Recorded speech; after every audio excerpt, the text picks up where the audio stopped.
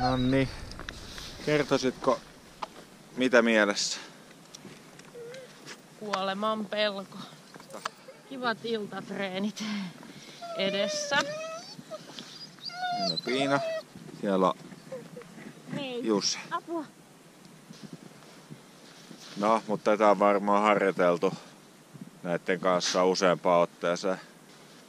Piinan kanssa on kerran hiihdetty Kaksi. kaksi kertaa ja Juse on varmasti hiihtänyt paljon, mutta ei meidän kanssa. Huhu. Tuukko se pitää piinaa? Katsotaan monta metriä me päästään. Noni. Sitten mennään. Juse, mennään.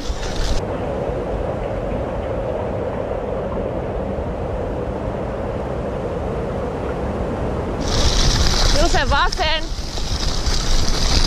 Vasen.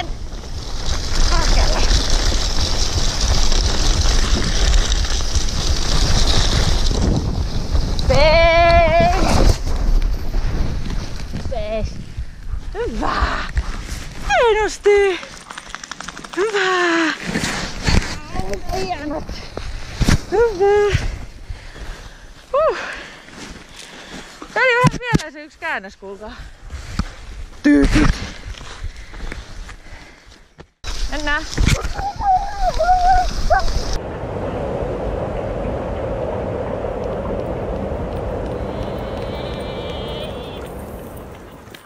Ei. Hyvä. Vau, miten taitavia! Taitavat. Hyvä. En saanut kääntyä tuolla kentän jälkeen. Mentiin vaan kerrostalojen pihaan suunnilleen, niin sitten mä menin Sitten me käveltiin silleen piina veti vaan tälleen näin. Tultiin takaisin tähän uralle, niin sitten meni taas hyvin. Oot se kyllä ihan, ihan sekas. On. Kyllä mä tappaa kännykän niin. Uudestaan. Mennään!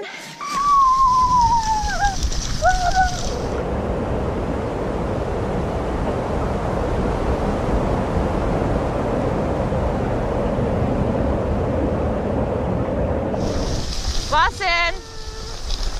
Ah, Kyllä. Ai miten hienosti. Hyvä. Mennään!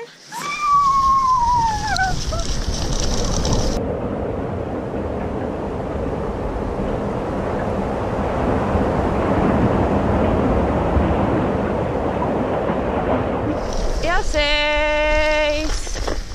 Hyvä. Oh, pottaa. Ai, ai, ai, ai. Olisi kiva mennä kotiin, mutta en mä kyllä pysty. Hyvä. Hienot koirat. 4,3 kilsaa. Sitten mä karjasin silleen, että mennään, niin sitten se lähti. Hyvä piina.